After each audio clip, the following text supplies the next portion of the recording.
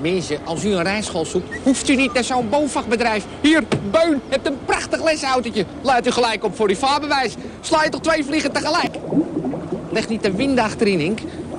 En nou een verdelingproef.